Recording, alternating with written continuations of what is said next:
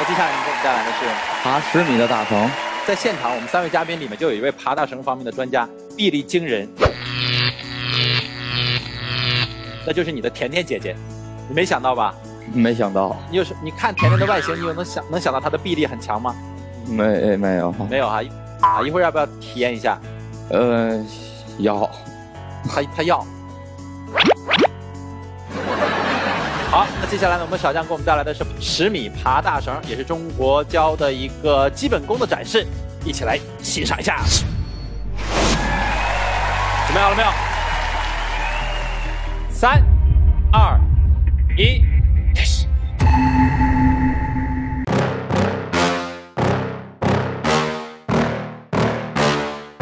Yeah. Please tell me that I can't, that I won't, that I fail, that I'll never make it out, yeah. Please tell me all the bad, never good, fill my head full of every single doubt, yeah. Please say any negative thoughts, I pop off when I hear people say I cannot. I get off to the thought of proving everyone wrong, I won't stop to the top, so you better back off and get lost. I'ma stay loud, stay proud, never running out, never heading south. I'll be spreading out, call it what a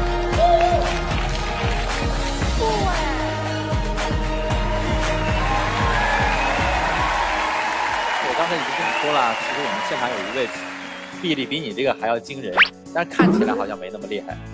嗯、可以试试。呃，我就不上去了，我怕我上去之后太厉害，然后就抢了小将的风光。真的呀？因为我觉得这个东西挺简单的，就你往上拽嘛，再加上我体重又比较轻，所以对于我来说 so easy。我觉得要不然让于老师上一下，于老师怎么哎，样？我我我意见不同意啊！我觉得啊这个事儿啊不简单，掌声有请于老师上来试一下。试一试啊，感受一下。啊，难得难得难得！这个如果没有一个对自己的臂力极强的自信的话，这是很难愿意上来的。好，掌声送给我们的于老师。于老师挑战爬成两米的高度，三、二、一，走！哇，哇，可以啊、可以啊，于老师。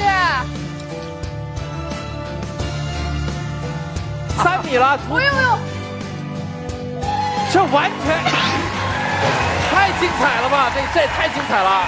做下对比的话，我大概自己做一个估量，嗯这个时候我如果能爬四米到五米的话，如果杆儿我大概能爬到八米到九米。你还在为我们这个的确是难爬，还在给我们选手背后捅刀是吧不过？人家比我爬的高多了，这个没啥比，这没法比。